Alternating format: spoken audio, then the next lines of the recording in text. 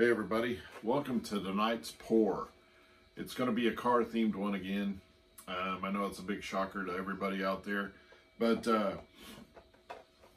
I'm going with a car that I uh, I've always liked the car. Um, I actually had a later version of uh, this car, uh, not the old muscle car, but uh, they brought it back in the early 2000s, I think it was, or at least this, that's I had a 2006 of it, I believe it was. Um, but tonight is going to be a 1970 Dodge Charger RT. And I love the purple. It's got the white stripe on the back of it. This one does have the engine popping up out of it. It's not a Hot Wheels brand. Um, I just saw this one and one other one in uh, Walmart the other day and grabbed them up. Uh, I'll be doing the other one. It was a silver and black one. it wasn't a Charger though. I can't remember what it was. Um, I think it was a Roadrunner. But uh, so I wanted to do the Charger one, and I decided to go since it's a purple. I decided to go with a white background and do the purple. And I'm going to add just a little bit of gold because I've just kind of been in a purple and gold kick here lately. I like the I like those two mixed together. Uh, they go well together. Even though this doesn't have gold in it, I'm going to put a little bit in there just to just to give it a little bit more color. Um, I was going to go with just two different uh, shades of purple. I have actually a deep violet that I'm going with. Um, and I'm going to be using uh, this one, which you can see I got on sale for 74 cents, which is a good buy. But it's a deep violet. And then I'm going with uh, gold from Master's Touch. This one is uh, the Fine Touch. It's basically the same thing, I'm gonna guess. But uh, I have some other shades of purple, but they're uh, they're really not the kind of purple that the, the I don't want it too light or too pinkish because some are some are uh, real pinkish type of purple and one was just too light so um, I'm that's why I'm thinking I'm just going to go with the purple and a little bit of gold. I know it's not uh, kind of going with the theme I have with matching the colors, trying to match the colors that go in it. I mean, it will have purple in it. And uh, so that's what we're going to go with tonight. And uh, been working on some ideas on some other stuff that will be coming up soon. I'm, I'm pretty excited about another one I just finished up last night. I think it's going to turn out uh, just awesome. Um, but I'm sure that one, that video will probably come out before this one. So be sure to like and subscribe uh, to the channel and you'll be able to see all those videos that um, I do and, and catch all the all the pieces that I do. So with that, well, I'm going to get the paints mixed and we'll get started. All right, I got the paints mixed. I'm going to start off by measuring leveling my canvas just to make sure it's pretty level. So we'll, um, I've decided to do it uh, just a tad different. Um, instead of doing a just a long thin, I'm, I'm thinking I'm going to start out kind of thin and then I'm just going to blow it all out and just cover this half of it with the purple and gold. And I think I'm going to try to get the gold more in the center and the purples all across it. And let's hope I get enough paint. And my Floetrol, this bottle has just had junk in it. Junk, junk, junk in it. So I might have to be pulling off a little bit of this, some stringiness that was on there. I usually can pull it out while I'm mixing it, but I didn't on this one. Cool. And I have some paints left over from last night. I'm not going to use it on this pour, but I think I'm going to just do a probably an 8 by 10 I don't have that much paint left, and I'll probably have some paint left over from this pour. So, I'll either do a 12, I think I have some 12 by 12s, or see how much paint I have, or an 8 by 10 Because I do sell a lot of 8 by 10s, so I usually don't resin those at all. I just spray them with a gloss enamel. Used to be that's about all I did was 8x10s. And uh, I think I had a few hundred at one time. I usually take a hundred or so to shows.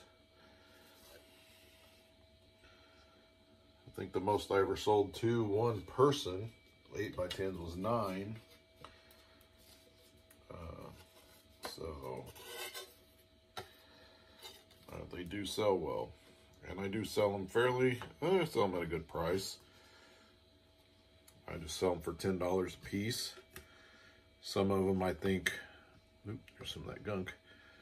Some of them I think are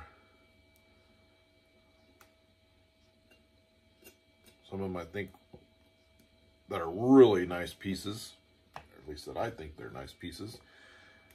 I think they should go more than $10. They're worth more than $10, but that's what I sell them all at because some of them aren't. But there's some that I've sold that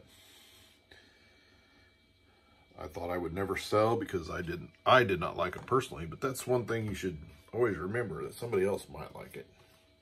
Whether you like it or not. Because uh, there were some that I'm like, these are just ugly. And uh, they found a home. So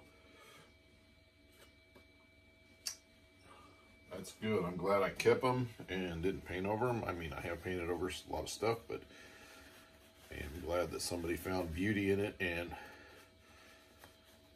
spent $10 to buy it.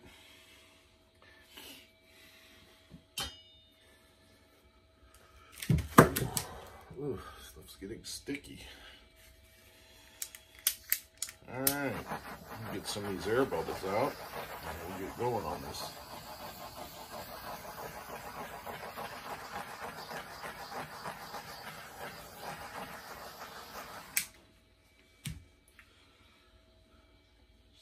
I think there's a piece of something. Yep, there it is right there. Come on, get out there.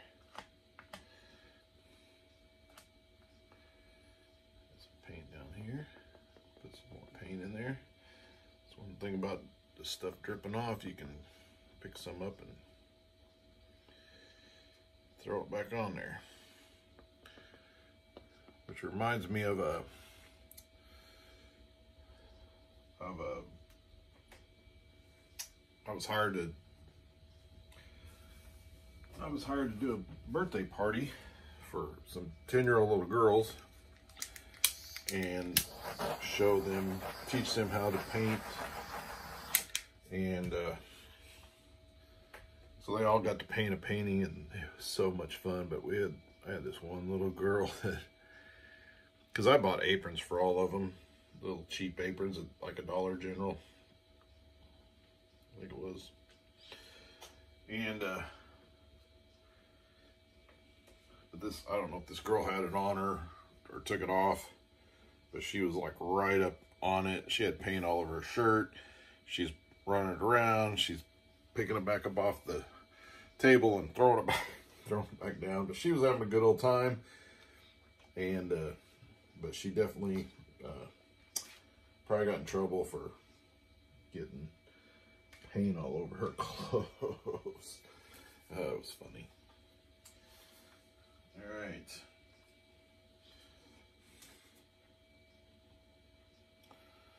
So we're going to put a lot of purple in, lot more than what I usually do.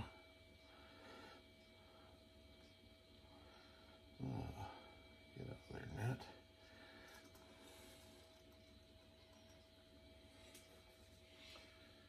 I already had a, looks like I already had a gnat. Ugh.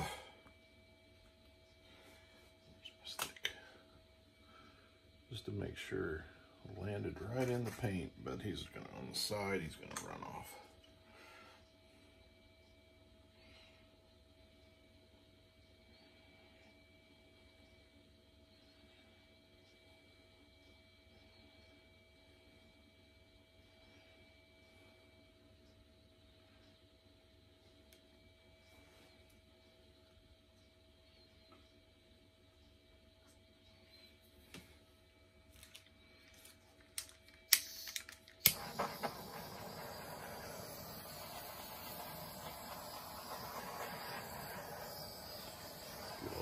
Bubbles out.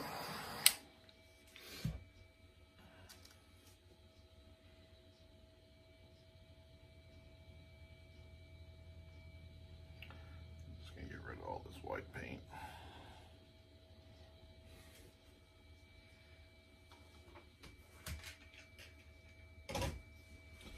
All right.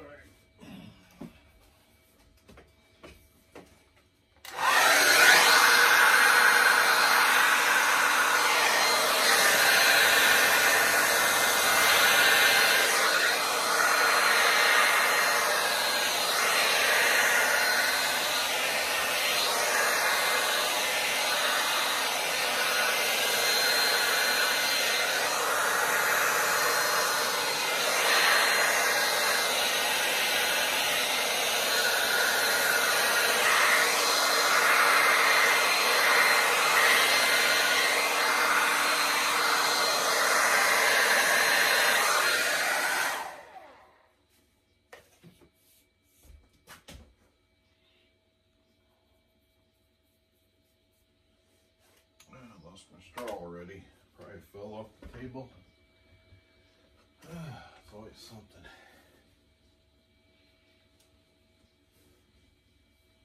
Mm-mm-mm. I just cleaned up my room and now it's already a mess.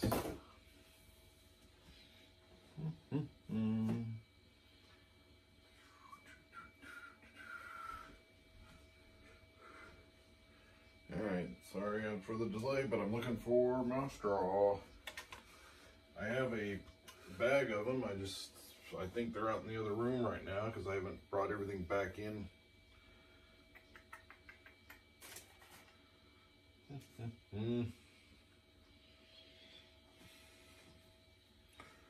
Alright. Alright, it took me a little bit, but I did find them. And I do want to add a little bit more purple to it. I don't have much left.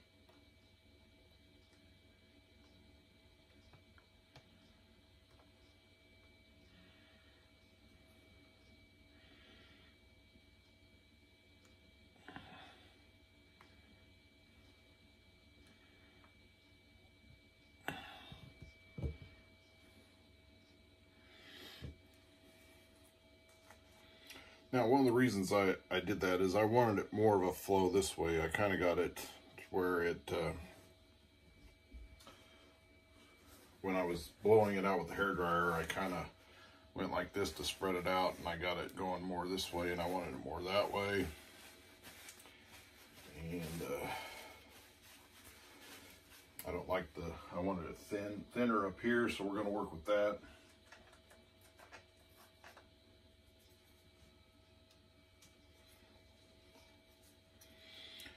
So we're gonna move this pane over.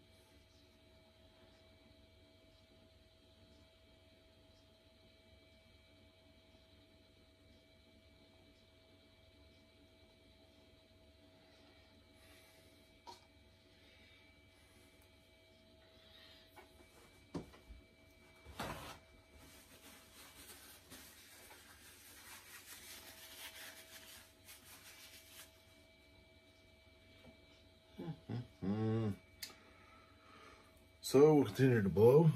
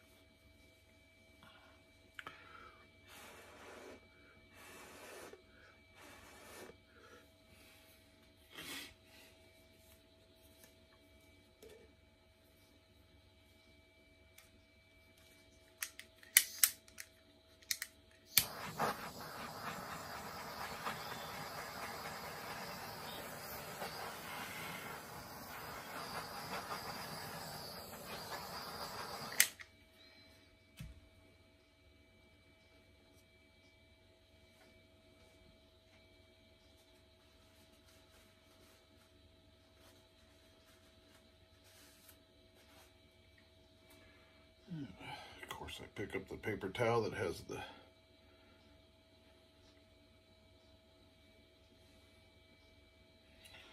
has the white paint on it.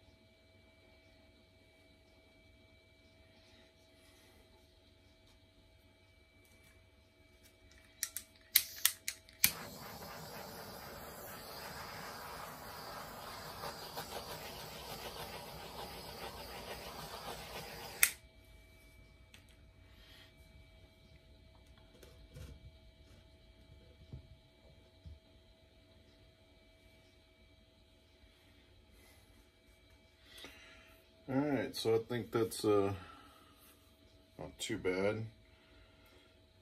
Again, it's not exactly what I wanted, but I do like how it comes out and it goes out the rest of the way, not just the thin. Even though I do like the kind of minimal amount of color, it works for some. Uh, I don't think it's not too bad on this one. So I think I'm gonna leave it as is. See how it comes out.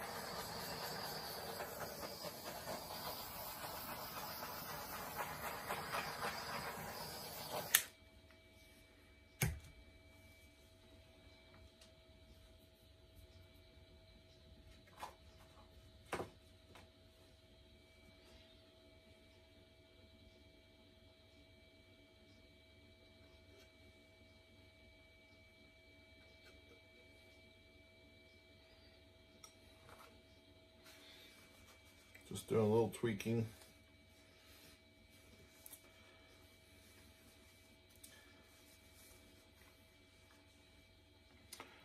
I know I learned a number of years ago that sometimes tweaking, most of the time tweaking's all right, but tweaking and tweaking and tweaking and really doing stuff can really uh, make it worse. So I think I will leave it at that. And uh, that should be it for this one. All right, we got this one ready and it's ready for its resin. So let's get started with it. I've already taped the back. I always tape the backs because uh, you get those little hardened droplets and they're hard to get off. Just to pull off or cut off or Dremel off or whatever you want to do. It is, believe me, it is well worth putting tape, taping the back and you pull them off and just, you can get that pulled off within minutes and have a nice clean back on it, which is what you want.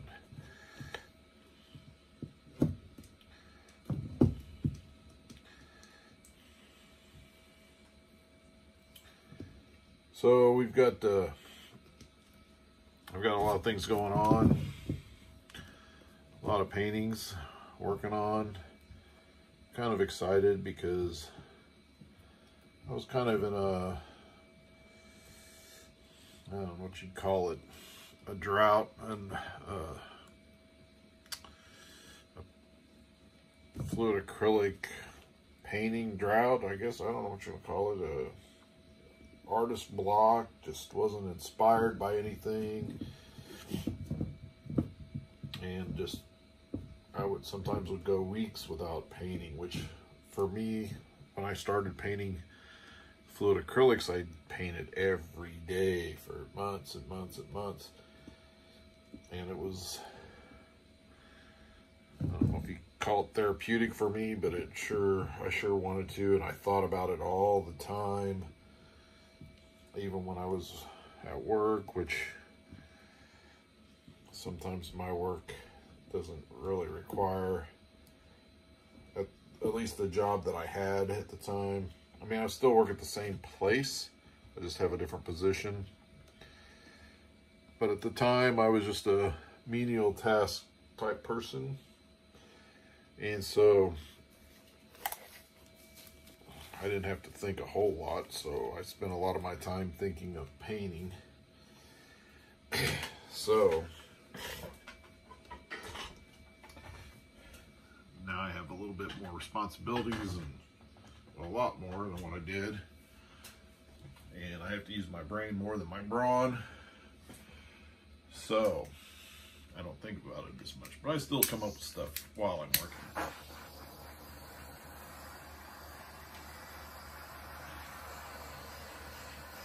But anyway, it's nice to be back in a groove and painting and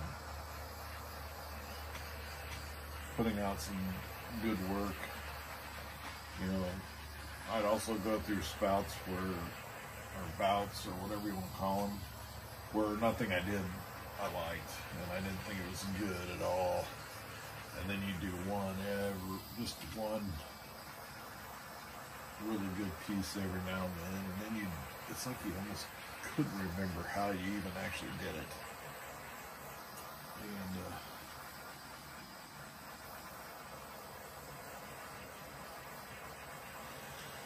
so, but now I'm kind of getting in a groove. This these Hot Wheels theme paintings are really have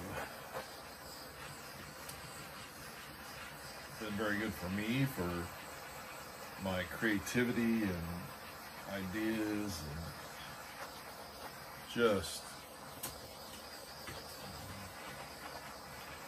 helping me with all of that. So I can uh, get my creativity out which is showing in a lot of these paintings.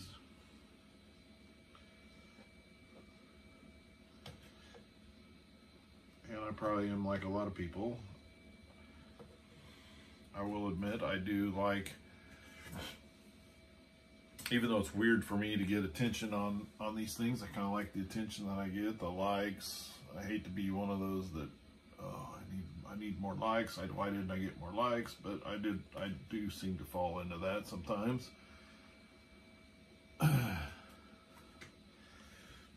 and I understand from like a lot of my personal friends when I first started posting, when I first started doing these and posting these, I would get hundreds of likes, and then I don't hardly get any from, you know, my real friends on Facebook or whatever. But I mean real friends in real life because they probably like, oh geez, there he goes again, putting another one on there. Enough already. But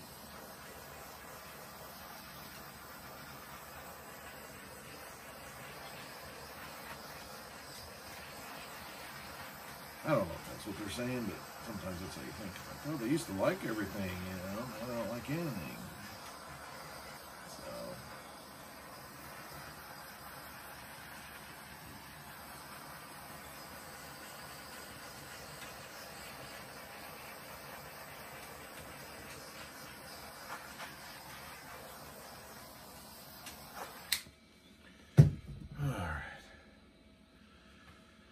And like I've mentioned before in other videos, is I just torch, torch, torch. Um, you really have to get a good, a good, uh, a good light to get a good glare off of it to really see because you can just blow out the bubbles with the naked eye just kind of looking down on it you can see all those and you can see them popping and everything and you looking at it from above, you can really tell that it's, excuse me, it's really, uh, they're all out. All the bubbles are gone. You got it good and it looks glassy. And then you get on the, a nice light and you get uh, a shine off of it. And boy, you can see them all sitting there. Like, oh my gosh. So that's what I do. As I look at all these and look and torch and look there's still some right there. Some right there. Because I, you do see those in, in the end, so well, I think this one is about done. The last one had a ton in it. I don't know. It seemed like I was going to take me forever to get those things out of there. But I got them out.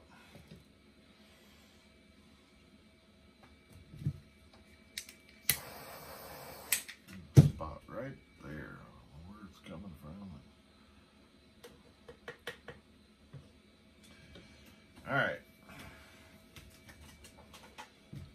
So now I'm going to stand up to place this thing on there.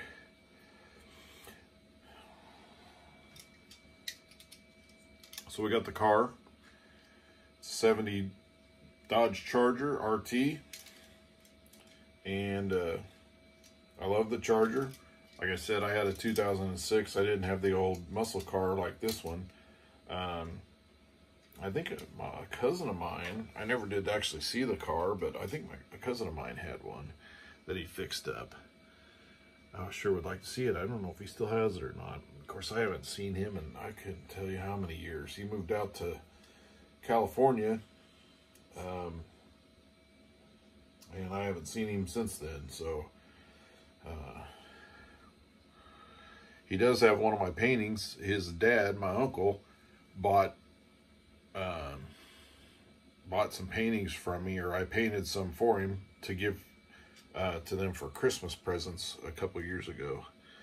So, but anyway, um, what I what I've done is, um, is I put gold in this just to, because I like purple and gold together, even though this card does not have gold in it.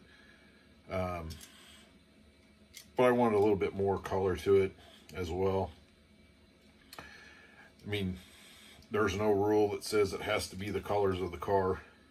That's just something I came up with in the beginning, and I try to match the, the colors of the of the car I'm doing. So, but excuse me. But so I'm trying to think if I was thinking of this earlier. I placed it on there, and I can't remember where I was going to do it because normally I would put it here, but that's I've got it quite quite a ways up. I don't want the car almost off the canvas, you know. Um, so I thought about putting it here, but I think I'm going to put it about right here. I think is where I did where the front wheels are like maybe on here. Because if you put it like here, it's almost like it's going through through something and it's the wake of it. But I think I am going to put it, and we can move this around. I think right in there would be good. So let me see here.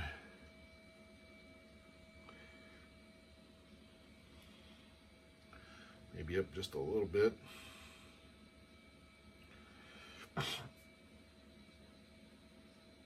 Try to get it straightened out a little bit. All right. And there she is. I think that's a good spot for her. And uh, we have another finished one. I think it looks great. I love purple. I love the purple and gold. And uh, I love the Dodge Charger. So, to me, this one is a winner. Thanks for watching. Please like and subscribe.